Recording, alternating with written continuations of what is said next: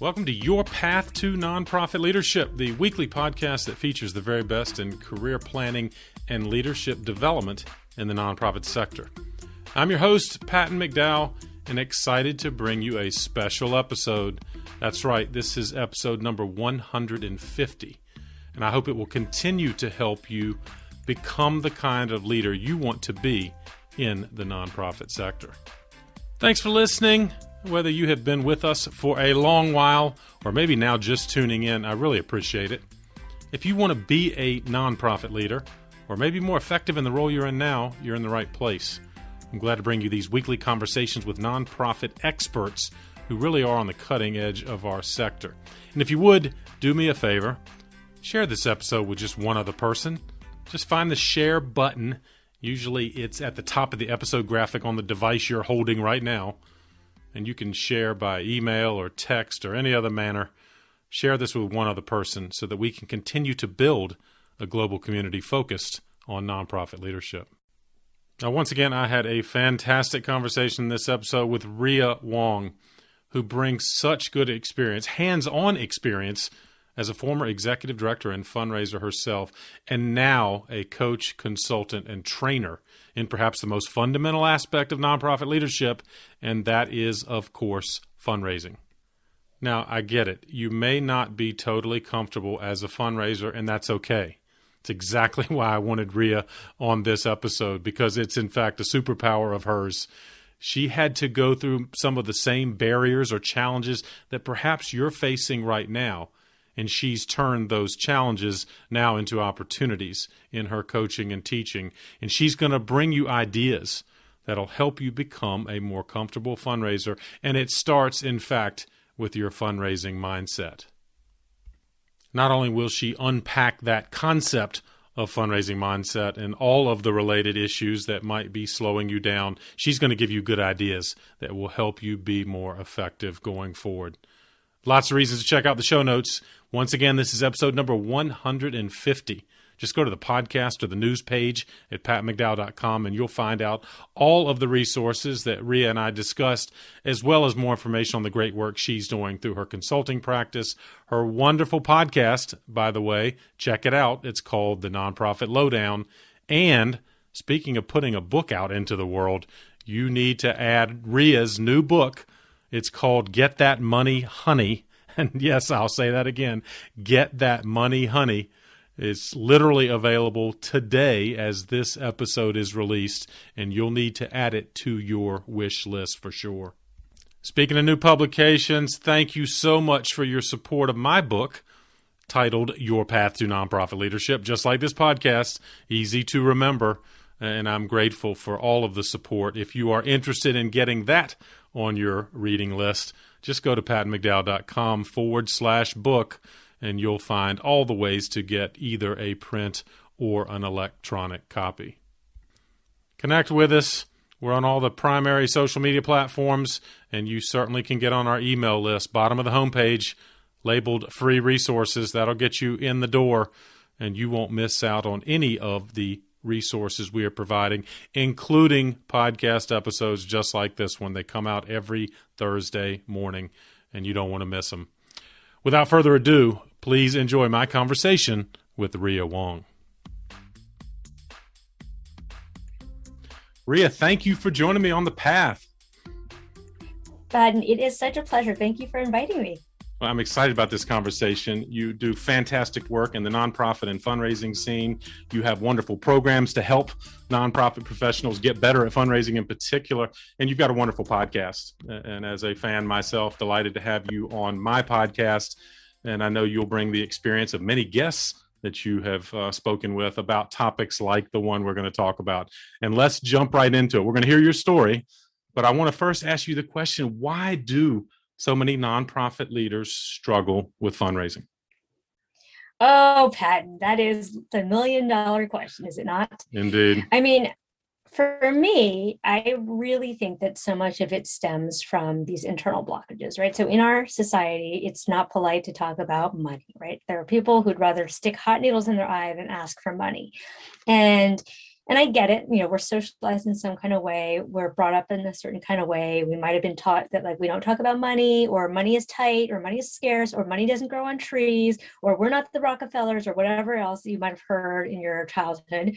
And so we we internalize all of that stuff, and then we grow up, we become fundraisers, and we go out in the world assuming that we and you know that we can go and ask for money without all of this other internal stuff getting in our way. And so, what I really believe is the reason why people dislike fundraising, are not good at it, would rather not do it, is that they really have not wrestled and come to terms with their own relationship with money and, and scarcity and their own blockages and beliefs about money, that it's scarce, that it it's hard to come by, that you have to fight for it, that rich people are different, that they must have done something bad to get their money. I mean, you know, fill in the dots with, with any kind of story that you want money's just money you know money is just a piece of paper right we create so much drama about it and it's really the drama that keeps us from being as successful as we want to be Rhea, you were successful in the nonprofit space yourself, so you know about which you speak. Uh, as a fellow fundraiser, I remember some of the breakthrough moments. But tell me, did you have a breakthrough moment where you had to get your arms around this kind of uh, relationship with money to become a more effective fundraiser? Yeah, I'm so glad you asked about So I talk about this a lot. I was a 26 year old executive director, right? So you know, basically they handed me the keys, they gave me my email address, and they said, "Good luck." and so the first day on the job, I'm not even kidding. The first day on the job, I did hmm. two Google searches. The first was, uh, "What does an executive director do?" Wow. and the second was, "How to fundraise." I mean, I was super, super clueless, right? And so, and at the time it was like a two hundred and fifty thousand dollar year work. So you know, fairly modest, but not sure. nothing. And um, and I just remember like, okay, I got to figure out this fundraising thing. So I decided to self-educate. Right, I basically created my own personal MBA. I read everything I could get my hands on. I went to all of the seminars, you know, the free ones, the paid ones. You know, I did the program up at Columbia, at the Columbia Business School. I, you know, I was in it to win it. Wow. Um, but the thing is, even so, I never felt like fundraising was something I enjoyed. I felt like it was a necessary evil to the job. Right. And it wasn't really until I did an amazing course uh, with Jennifer McCrea at Harvard that it kind of clicked for me that wait a second, what if I'm holding on to all of this baggage about money? And I remember this because I grew up in San Francisco in the 80s and 90s, and it was in the height of the crack and AIDS epidemic. And yes, if you've yes. ever been to San Francisco, you know there there are lots of homeless people. Right. And um, I remember I was eight years old and I was walking down the street and there was a an older, you know, homeless man with a sign that said, you know, uh, homeless vet, uh, please help, something like that. And I was eight, so of course, you know, he looked ancient to me, but he was honestly probably only in his 40s. Anyway, the point is I, I reached into my pocket and I gave him a quarter. I remember my father whipped around and he said, Oh, you're so you're so rich now you can just give money away. Uh. Right because you know I didn't grow up in a philanthropic family. My family, my grandparents were from China. They escaped, you know, the communists in China, and so typical American story came to the U.S. with twenty dollars in their pockets, and they you know, built their way up. Um, and so my family, money meant stability. Money right. meant security, and so psychologically, I had I had uh, inculcated in my mind that giving money away meant giving away stability, giving away security. And then I projected that assumption onto my donors, right? So I never loved fundraising because psychologically, subconsciously, I was believing that I was asking them to give up their security and that I was somehow asking them to experience the shame that I had experienced as an eight year old when I got in trouble for giving a quote. Giving it away. Right? right you know, fast forward. So it was early on in my career. I was probably in my early 30s at this point, and I met this woman named Liz at a uh, a tennis benefit that one of my board members was giving, and she, you know, she's a very intense woman, like 50s, like powerhouse, Upper East Side, like New Yorker. Um, and she kind of cornered me. We got into conversation, just very intense, like shooting questions at me. I was like, ah, what's happening? Anyway, um, she's incredibly smart and i eventually invited her to consider joining on board so she said okay um, send me the budget and so i sent her the budget she calls me two days later i'm like just like i have to talk to you i'm like sweating at this point uh, right right and she said she said rhea I'm, I'm looking at this budget and it looks here like your entire board is giving $30,000 collectively. And I was like, um, yeah. And she goes, well, that's unacceptable. Uh, any board that I join needs to be giving at a more significant level. So here's what I'm going to do. I'm going to challenge them to match me at 50. Wow. And if they do that, I'll throw in another 50. And it was just like, like my head exploded. Nice. And I was like, wait a second. What if everything I thought about money is actually wrong? Like, what if there are people in this world like Liz who enjoy giving money, who see it as a as a privilege, who see it as a, their responsibility? And what if there are a whole bunch of other Lizes out there in the world? And it just really opened my mind to a whole new perspective about money and abundance and and partnership and inspiration. And since that time, I love fundraising because fundraising is not about the money, it's about the relationship. yes. Anyway, very long winded way Love it. of answering the question. Well, and, and did, did did you find that many of your colleagues perhaps shared some of those same fears, and thus you're like, hey, I can help other people, and thus your consulting and coaching practice Yeah. began? Y- Yeah, that's exactly right. So once I um, left being an executive director after 12 years, 12 and a half years, I feel like I have to add the half because, Yeah. as you know, being an ED, It counts. it counts. yeah, right. um you know i was kind of looking for my next thing wasn't exactly sure what to do. And then you know i took on a couple of consulting projects. I know that's what you do. And um was you know for, on, on my side it wasn't really that strategic. I was like oh i have friends. They need help. I can help them. Right, right. and then kind of mid pandemic it really occurred to me like oh what's the number one problem that nonprofits have is they need fundraising. And what's the thing i'm particularly good at is fundraising. But more than that for me it's it's really about service because at the end of the day i care about a lot of different issues. I care about education and i care about the environment. I care about voting rights. I care, I care about a lot of things but i Exactly. personally am not going to be able to do all of the things right? I'm one person. I can't do all of it. So what i decided to do was to develop this program to help support people who are doing all the things. And so for me it was like a, it was a win-win. It was a way for me to earn a living Yeah. share what i've learned but also support work that i care about in a in an indirect way I love that. And again, you are indeed kind of spreading that uh, the intellect you've brought to the fundraising space and helping others then achieve their mission, right? So you can, in fact, impact multiple missions through the the lens of fundraising and helping them build the assets they need. I, I hope so. I mean, you know, what I've said, um, and I'm, I hope, I hope I'm very humble about it. I hope it comes across. But you know, the fact is, I've made a lot of mistakes. I've made mistakes so you don't have to. Is what I tell my students. Right? I'm not saying it. I'm the be all end all. I don't know everything in the whole wide world, but I know more than they do at this point. And so, what I want to do is help them to sort of level up quicker than I did. Because the truth of the matter is, like, and I'm sure you found this to be the case, is a lot of it was trial and error. I didn't Yes. have somebody to tell me all of the things, right? I mean, I took the courses and so on, but at the end of the day, you learn by doing. And I made a lot of mistakes, a lot of mistakes, and that's a whole other podcast. Yes, But I'm like, let me let me help people learn from my mistakes. You all should make new and different mistakes. Don't make the old mistakes. I already did that. Oh, it's fantastic. And well, and I guess all that came together. Talk about the fundraising accelerator. You've got a really unique and innovative program that gets it. I, I know you get at the fundraising tactics, but of course, to your earlier point, I think what you believe is that it's not tactical issues that are holding up most of our fundraising colleagues, right, or nonprofit leaders. It's that whole Yeah. relationship with money. But is that how? Talk about fundraising accelerator. How did that come together? Yeah, so it's an interesting story because basically I was getting approached by everyone uh, to help with development work. Right. And I'm not, I mean, I've done development as part of my job. Obviously, I fundraise, but I'm not a development director, right? I, I'm an executive director.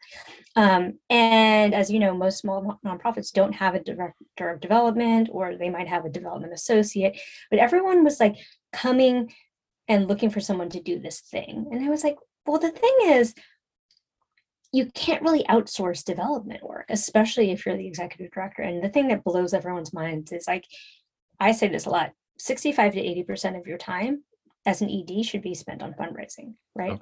And so I think a lot of people think, especially founders, they they you know they start the organization because they love the panda bears or whatever it else they, they, you know the Passion that got them start there, right? right the passion project And I'm like, well, here's the great irony.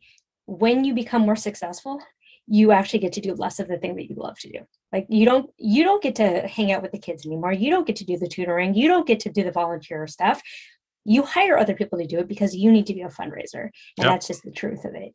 And so to me, I was like, well, this is kind of dumb. Like, why are we all running around trying to find fundraisers when number one, we know that there aren't enough people in the pool. But number two, like, how is it that we all have our these jobs that we've actually never been properly trained to do? Like, right? Like, Agreed. how many EDs are told? You're an ED now, and by the way, fundraising is part of your job. Like, yeah. how many surgeons would you put in a hospital without having gone to medical school? How many lawyers get to practice law without having gone to law school, right? How many mechanics get to work on cars without having learned how to i don't know when you go to auto bodies i don't know what but, you go right. to trade there, school, there's right? a training program involved yes right and, and yet, and yet we put yeah we put them in there yeah it's like we are trying to solve the society's most intractable problems and yet we actually haven't properly trained people to do the job that we're asking them to do. So here's what happens. Either one of two things happens. Either a people really try their hardest and they end up getting burned out or they figure it out and then they decide to go elsewhere and take their talents somewhere else right? So to me i was like well why don't we just work with what we got yep. and teach eds how to fundraise and teach development directors how to fundraise to actually help them to be good at their jobs like i don't know it seems kind of obvious and logical to me but apparently the, the nonprofit sector still needs to catch up with that that was so well put. And, and I guess that and you anticipated my next question of the ideal candidate for your program is that executive director who doesn't necessarily have the infrastructure of a chief development officer. I mean, do you help them evolve to that space? I mean, they need to retain that fundraising ability no matter how many staff they put around them. But yeah, I wonder how do you speak to that evolution? Yeah, that's that's a good point. So the majority of people in my program are actually executive directors. I do have a handful of development directors, yeah. um, but generally the development directors are there to help learn how to manage their their exec to do the fundraising work.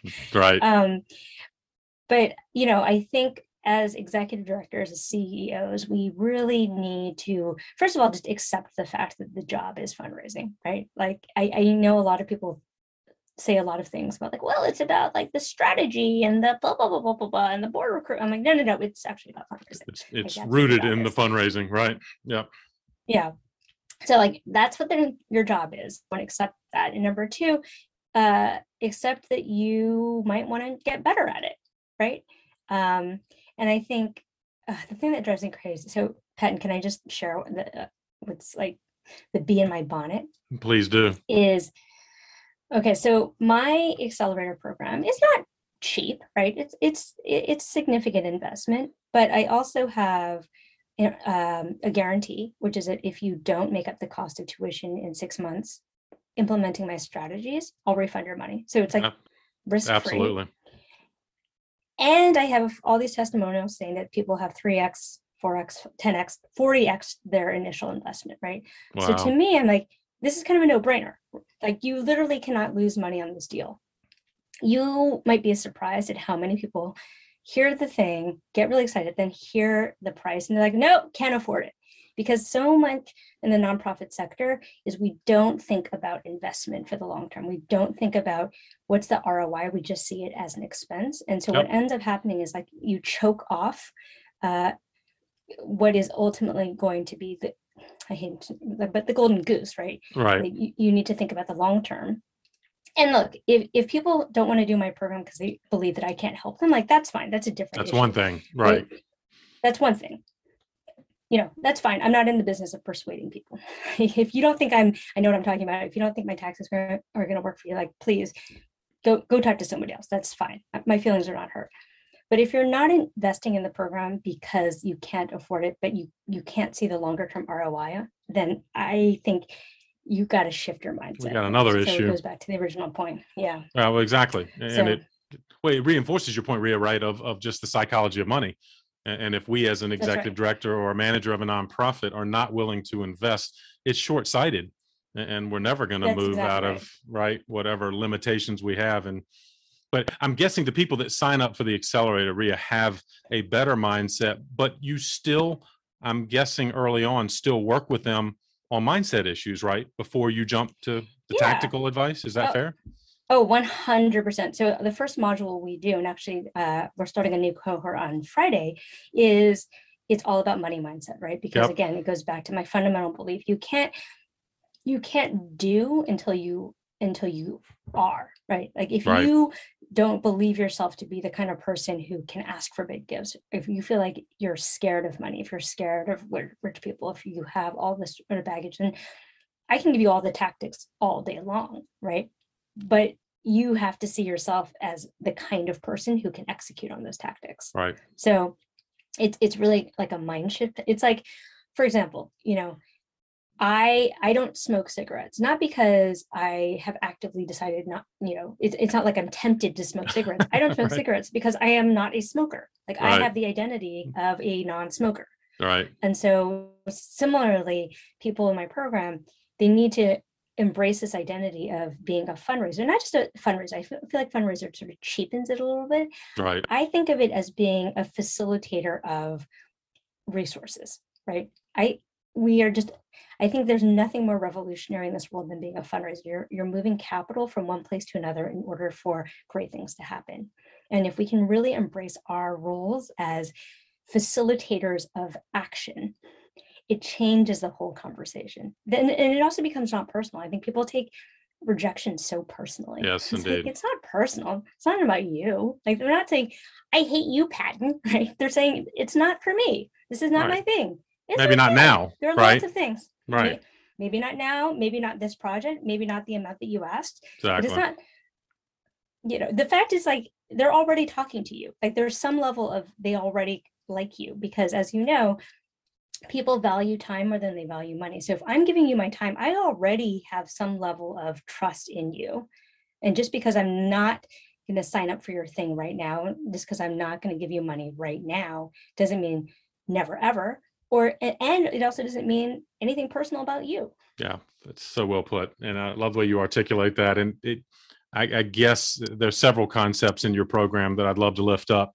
Uh, and you alluded to this earlier, kind of the how do we deepen the donor relationship, particularly as a nonprofit professional, Rhea. If I didn't grow up in with money, as your story personally attests, so how do we deepen the donor relationship if we don't, frankly, come from money? Yeah. Well, Patton, I think that thing, the big misconception, and I said it before, is this belief that fundraising is about money. It's not about money, it's about the Right. relationship, right? And so my favorite thing, and all my students know this, everyone who's ever listened to me knows this, like I use a dating analogy. Because I I think that the way in which fundraising is generally taught or thought is like, okay, I'm gonna go in, I'm gonna like strategize, there's gonna be some like magical combination of words I'm going to say that'll make someone throw money at me. I'm going to have a fancy deck, you know, blah, blah, blah, all of the things. I don't know about you. I have never raised money off the back of a fancy deck, right? Right, It's about the conversation. It's about it's about Ongoing, yeah. right, Yeah. Uh, to me, walking into a meeting with like a fancy deck and a pitch is the same as walking into a first date with a resume and telling the person you're on a date with, like, these are all the great things about me. I went to this school. This is my GPA. This is my SAT score all right, great. I'm great, right? Good luck getting a second date. right. Well, it's So like asking them to marry you, right? It's like on the first date going straight for the Oh yeah, ultimate question. yeah. And like, wow, that was a little premature. Yeah, and so you know, I, I just really uh, encourage people to think of they're like they're just people. That, like they're not different. We're basically humans are pretty much wired the same way, more or less, right? We Yeah. want to we want to be seen. We want to be able to talk to ourselves. We want to see ourselves as a hero of our own story, and we want people to ask questions about ourselves. Like think about the best dates that you were ever on. It was a conversation. Someone was interested in you. They asked you good questions about yourself. You enjoyed the the time together. You, you know, I, I'm assuming, but like I'm you you invested in the relationship and it eventually went somewhere, right? But it's Exactly. you really just have to not think about it. Like I think that the problem that I see in fundraising is people think of the relationships so transactionally. It's like I'm going to go in, punch these buttons, and money's going to pop out. I'm like, really? It's How's such a good point. out for you? No, it doesn't. And you're right. But we we have that kind of built in equation uh, between donor and fundraiser instead of we have a shared uh, passion for the mission, right? These are individuals that love our mission. There is alignment, and yet I think we create the barrier, right? Is what you're saying. We create a barrier by making them kind of donor to fundraiser instead of someone sharing a cause that we are aligned with. Yeah, I, yeah, and I think a lot of the stuff around like pitch deck, like I'm actually on a single woman mission to get rid of the word pitch. Like I hear people say pitch, and I think Transactional, it- it right there. Crazy. Yep. It- Transactional. I mean, I- it comes from like the VC world or Wall Street. Like I don't know where it comes from, but it's terrible. Because the other thing is, I don't know why it's so hard for people, but I'm like, really, do you do you like being on the receiving end of a pitch? Do you like it when someone is just talking at you for 10 minutes without pause? Yeah, then why are you so if you doing don't that? like it, Right. why are you doing that? And it, it, it's because I think people are so uncomfortable with the money and people with wealth that they create this uh, barrier, as you were saying, or they create this arm's length to actually instead stepping into a conversation about being human. Like, what do you care about? What do we care about? And is there something here that we can do together? And maybe not, right? Like, I think the other thing is we also have to be okay with someone saying, you know, Maria, I I love what you're doing. I think that's great, but this is not my thing. That's great. Like That's okay. it's fine. It's okay. Bless and release. Like move on. And actually, I'm glad when people tell me it's not the thing because then I stop wasting my time. Well, I love how you put that, and it, I think we could tie that to board uh, fundraising as well, right? And so let's talk about that. You Oh. you had a great illustration, but our board members are nervous about it in some cases. So, so how do we break through, and what do you suggest to get our board members more engaged in fundraising? Yeah. So, Patton, I think that the number one mistake that we all make, and you know what they say about assuming, is that we Yes, indeed. assume that board members, especially board members who we consider to be wealthy, we assume that they have no baggage about money. or, or we assume that because they're in sales or whatever, like a big corporate job, that they don't have any baggage about money, that they have no problem with asking for the sale or asking for the money. Again, when you assume. So I think the number one thing here is that we have to, first of all, recognize that our boards need to be trained. Like they need Yeah. to do some of the work of unpacking their own money baggage, right? Second thing is board members need to understand what the fundraising cycle looks like. I think a lot of them think that it's just about the solicitation. But as you know, the vast majority of the time in fundraising is spent building the relationship or continuing to invest in the relationship after the solicitation. And so if board members think it's just about asking for money, We've got of to course start they hate it. Like I would hate it, Right. right? At the the gift isn't just a natural step in a process after you have established where you're going in the relationship. And so um, I think there's education. And then I think the third thing is really like having individual conversations with each board member. Because I think the other thing is, as EDs, we were like, well, I sent out an email and like nobody responded or yeah. like nobody did the thing that we, you know, I, I know you have kids, Pat. It's like when you like yell at all your kids to clean the room. Guess what? Does anyone actually clean their room? Kids, No. clean your room. Oh, okay. Yeah. Yeah, that's gonna be real fun, right? We're going to be No yelling that a long time. Right. Right. And so essentially that's the same thing with ED. It's like we're yelling into the void, like, how co- like introduce me to people. Like, how's that working out for you?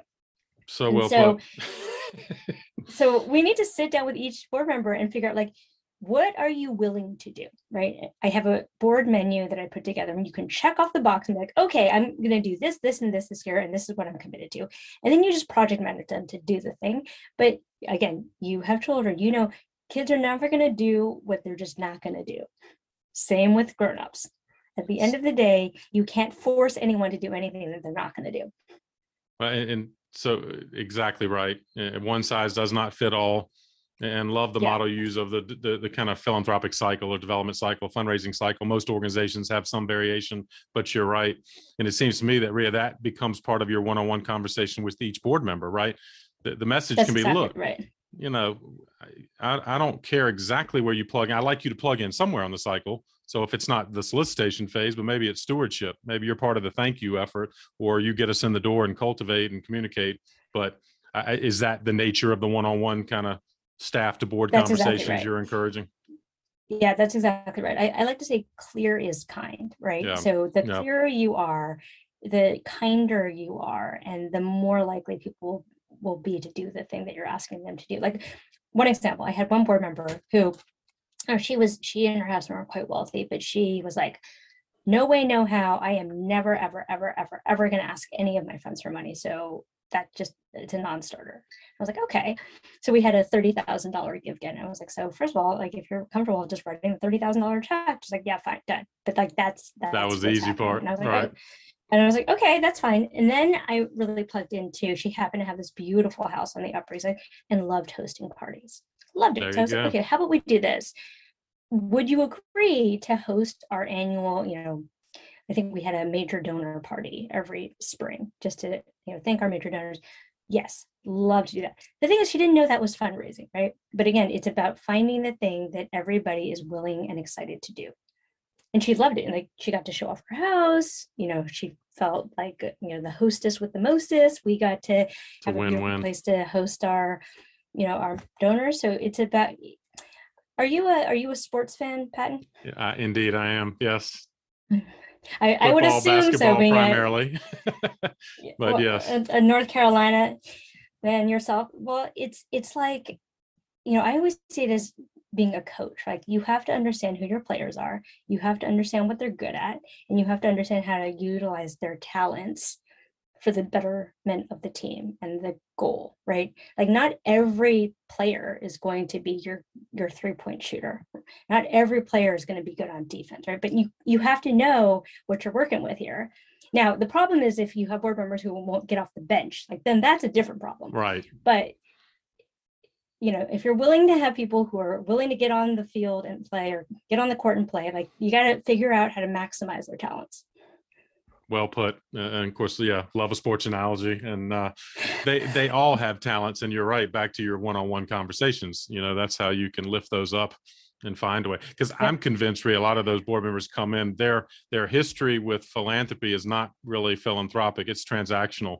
The last nonprofit Mhm. board I was on, they just wanted me to sell tickets or sponsorships or you know create you know table host kind of experiments and, and they're tired of chasing their friends and family for transactional activity so you're helping Yeah. re-educate them as to real philanthropy Well, the other piece too, Pat, and, and, this is just another bee in my, I have a lot of bees in my bonnet, but one of the things that um, really bothers me is when, you know, EDs will say like, well, I've asked my board to introduce me to people. yeah. Like introduce me to right?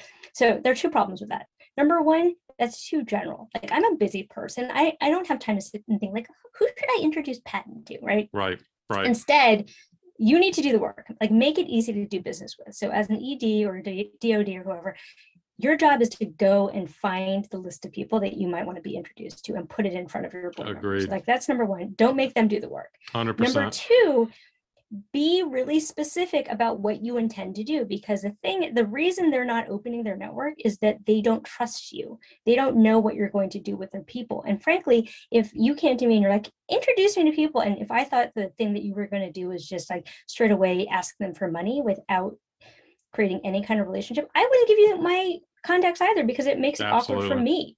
Yep. Like i'm going to see this person next saturday night and i don't want them coming to me like rhea why'd you give my name to that person? They just asked me for a bunch of money. Um, so don't embarrass people and i think be really clear about what is what am i going to do? What is the email i'm going to send? What is the process we're going to follow? And what are the points at which these people can also say like this is not my thing because like that's the other thing is no one wants to have their friends and family feel pressured to give like we're not in the business of pressuring we're in the business of inviting people That's so well put. And and again, yet another kind of mindset shift, uh, consistent with the title of this episode. It's all about mindset, right, Rhea? If we can change that Yeah, I mean- mindset at many levels, things are going to get better. Well, I think ultimately, so much of the bad, the bad practices in fundraising is really couched in a scarcity mindset. It's this belief that there are not going to be enough people, there are not going to be enough resources. If I don't close this gift, this is never going to happen again. Like, you know, people are not out there being generous, right? And so much of it is is just this belief in like the finite resources and the nature of competition and I think if you can get out of that, if you can actually readjust your belief system to be like, look, there are plenty of people out there in the world who want to be involved with what we're doing, who are excited, who are generous. And my job is just to go find them as opposed to believing that they're really not out there. Then you just operate with a, a sense of ease, right? Again, dating analogy, but I don't know if you ever had this problem, Patton, when you were single. When I was single, I would go through these periods of like I couldn't catch a date to save my life, right? It was like a dry spell. And then the minute I had a boyfriend, like everyone wanted my number. Yes, and I was like, what? Where were you when I was single? And the truth is, a lot of it was the the vibe I was putting out. Right. Like no one, like desperate energy is Doesn't not work. cute. Nobody likes that, right? confident energy is what people like if the confident energy is like hey we're doing this amazing thing and we'd love for you to come along if it if it's something that you care about too and if not like that's that's fine that's so much more attractive that's something that people really want to be like we, we want to be shoulder to shoulder with people who make us feel like feel something feel confident feel like we're part of something bigger than ourselves we don't want to be on a sinking ship no one wants to be on the titanic exactly right. do not sign me up for a ticket for the titanic indeed desperation fundraising doesn't work, or if it does, it's a go away money. And, uh, you may yeah. get a little token amount from me, but I'm not going to give again because of your desperation. Yeah. So I love that analogy. All right, so yeah, I call it I call that mariachi money. You know, like the mariachi thing. exactly. like, can you? Here's five dollars, please, please go. Yeah, but go, go. Stop playing here. Go to somebody else's table, yeah. right? Um, yeah. All right. So, how long does the program take? Your accelerated program, and what generally is the time horizon your graduates come out? In other words, are you kind of gearing them toward, all right, let's let's look at the next 12 months, the next three months, the next three years, or I'm sure it varies, but just yeah. curious about timeline. Yeah, so so it's interesting, Pat. So technically the the bulk of it is a nine week program. So okay. it's about half an hour of content, about half an hour of I call it homework because uh, I come out yeah. of education, and then and then 90 minute uh, group coaching sessions. But the thing is, even after graduation, you have lifetime access to the Slack channel, lifetime access to all of the content up and upgrades. And then I do monthly drop in sessions. Nice. So you can, I say like until the end of time, but uh, I may have to we'll revise that, that time horizon at some point. Yeah. But yeah, I'm, I'm always available. I try to really be uh, an ongoing resource. I, you know, try to make connections and introductions where appropriate, because I'm really invested in my students' success. Like these are people who've trusted me with with their time, their money, their energy, and I want to deliver. That's awesome. Well, of course, we're going to lift up in the show notes uh, all of the resources you're talking about, in particular your fundraising accelerator.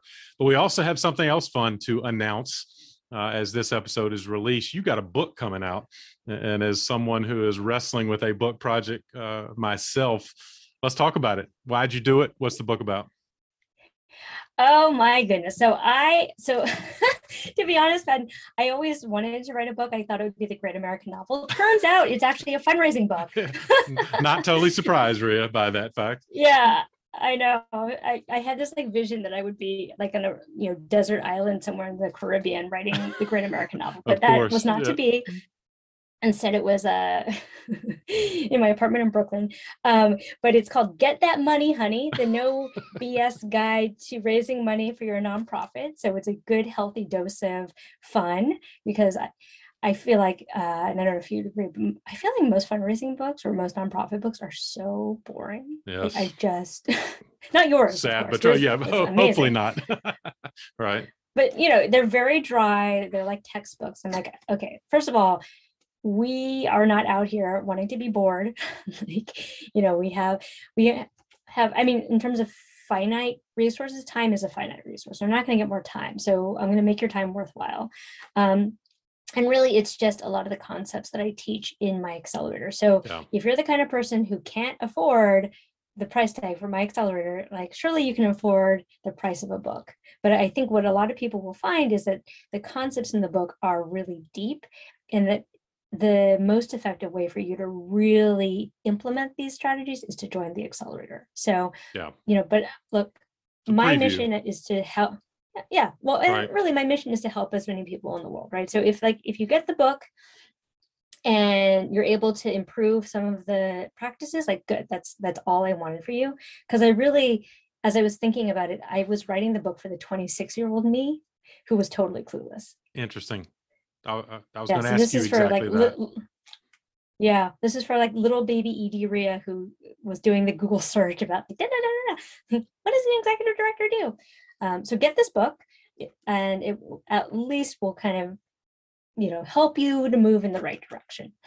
Well, I'm glad, and that's a perfect segue to kind of the question. So you answer the question. The book is for someone thinking about fundraising. I'm sure though there's value for those that are already fundraisers, and you're going to give them a deeper dive. But I guess you're saying that, yeah. But if if I'm thinking about nonprofit leadership and the fundraising component, this is a good book to read.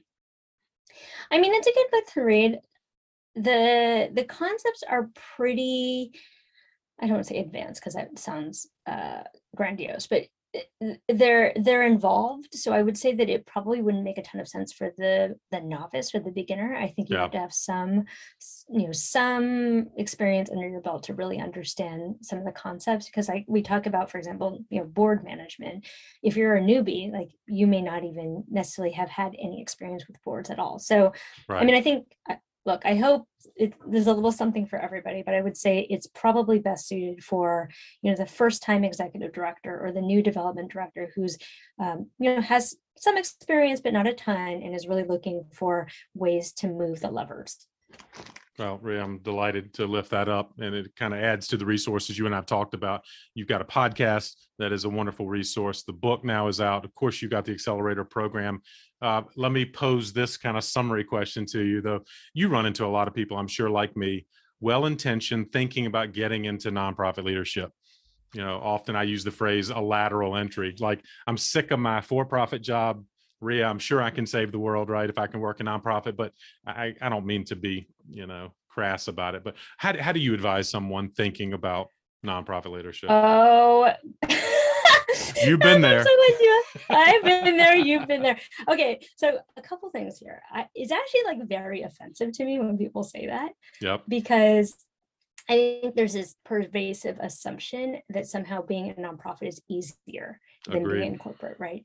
Um, so for me, it's actually offensive because it assumes that oh you can just jump into a nonprofit and be automatically good at it with no experience necessary because the bar is so low right? So usually what i advise people is you know number one before you make the jump like how about you volunteer? Like how about you or like join a board or see what's actually out there right?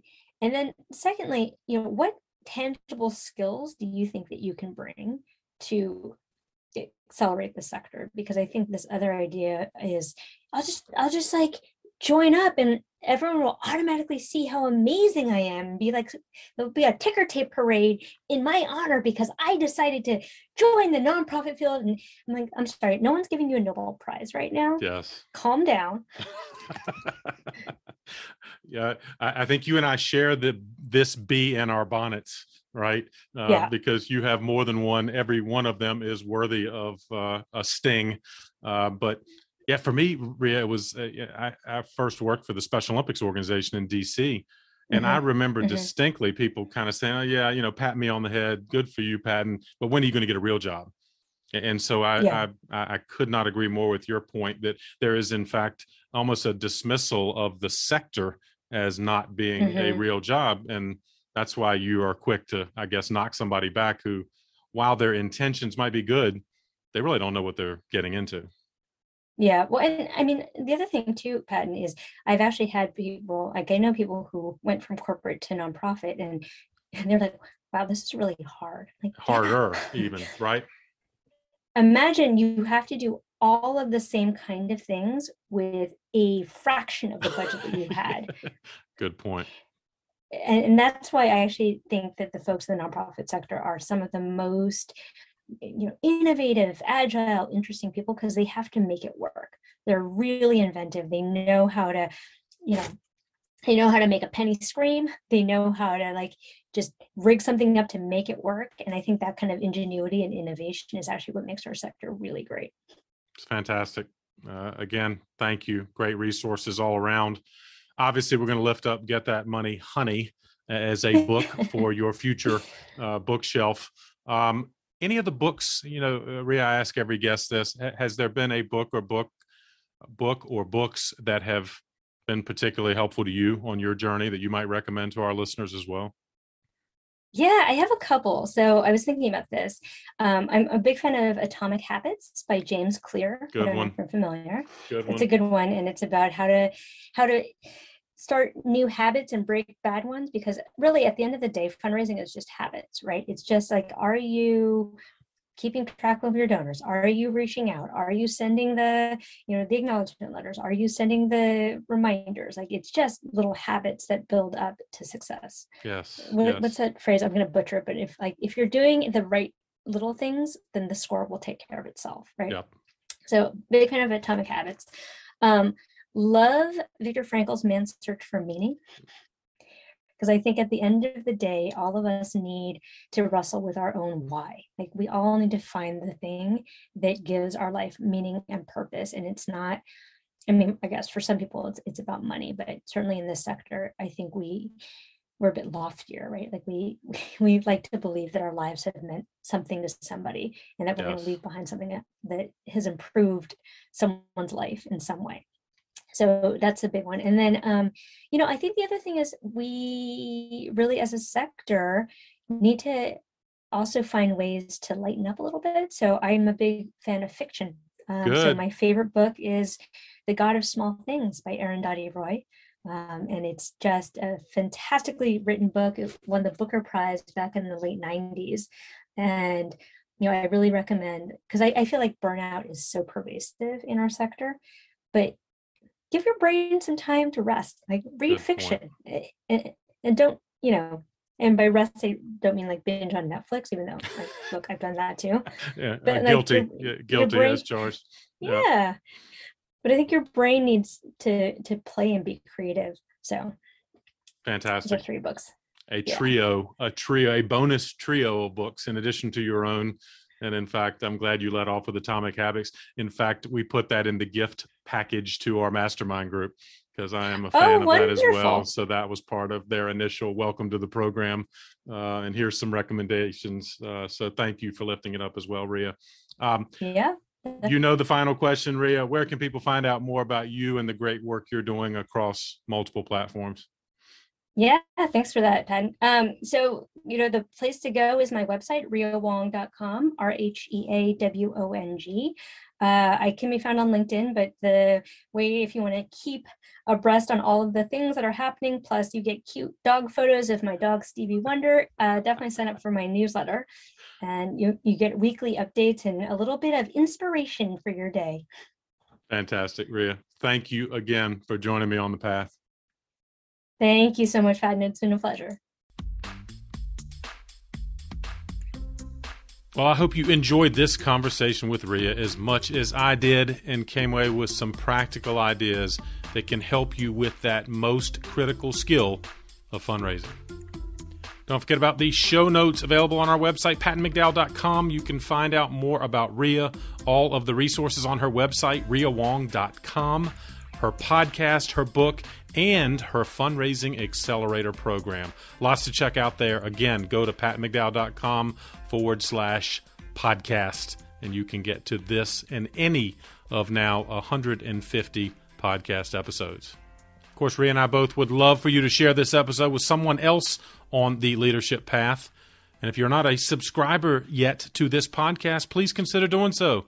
Go to patmcdowell.com, go to the podcast page, and you can click on the big follow button. Follow equals subscribe. Don't miss out on any of these weekly episodes. They come out every Thursday. And if you want to check out any of the previous now 149 episodes, just click on the episodes button on that same podcast page and you can see thumbnail briefs of every episode and enjoy as you are able. Thanks again for all you are doing in the nonprofit sector, especially right now, and keep up the good work for causes that are most meaningful to you. I'll keep bringing you content that can help you do it even better. Have a great week, and I'll see you next time on the path.